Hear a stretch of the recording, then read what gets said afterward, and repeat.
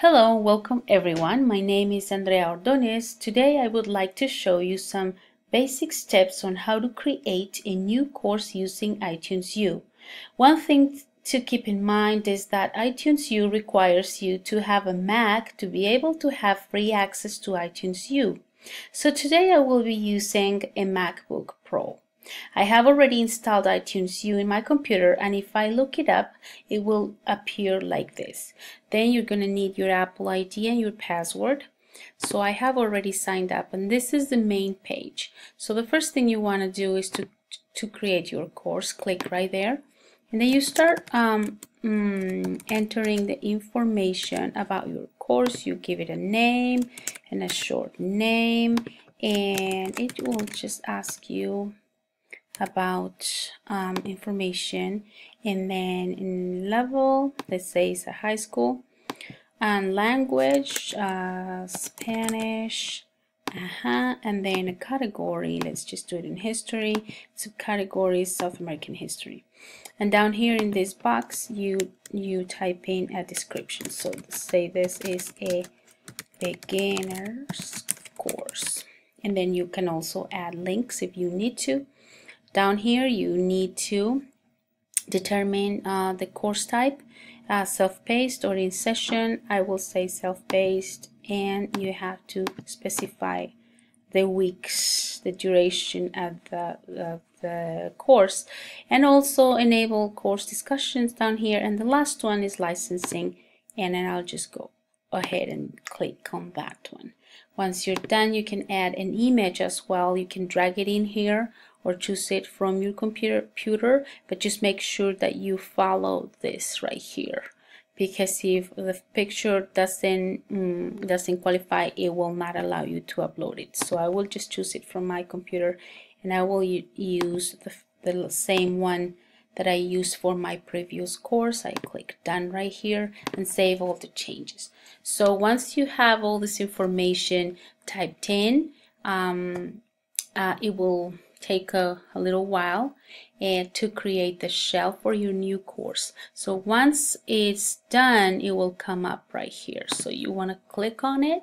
The first thing you do is you update your information. You upload your photo right here and for the editing you click over here.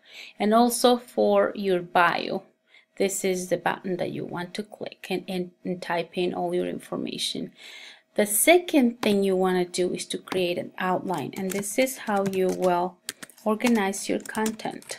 So I will just divide it into modules. Say module 1, module, okay. And then once you're done, you save the outline.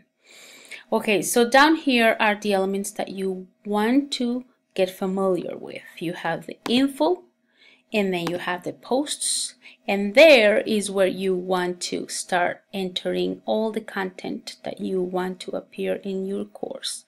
So for that I'm gonna go back into the home page I'm just gonna show you what I've done with the previous course I've created. So I already show you this um, the tabs for info and then I'm gonna go ahead and show you how to do posts. If you want to create a new post you have to click up here okay? And then you just follow all the directions right here. It is pretty simple. I'm just going to show you what I did with the first module. So you you type in the topic the title and down here in this box you are a you can upload images you know and and have um, instructions and text and embedded uh, videos and links and even snapshots. Anything you need for your course to to look sleek and nice. Now down here is how you add assignments. You click right there. You type in the title the description you enable grading and to attach materials it'll bring up this uh, these uh, different tabs. You can upload it from your computer or search store or iTunes or web links or from your materials down here in your account with iTunes U. Let's just go back. I'm just going to cancel right here. I'm going to show you how materials look. So here we have all the options. Audio, video, books, documents, apps, images, web links, and this is how much storage you have available. So it's pretty nice if you want to add more. It, it brings you up the same options and this is how you have all your archive ready to go.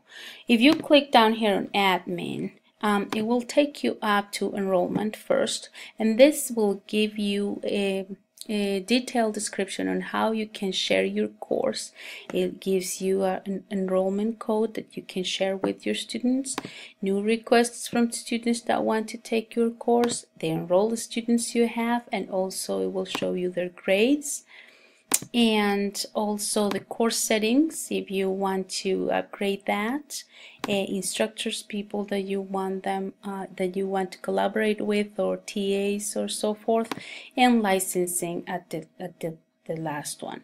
So this is pretty much what I wanted to show you. I hope it's helpful and thank you for your time today and I hope you have fun creating your courses using iTunes U.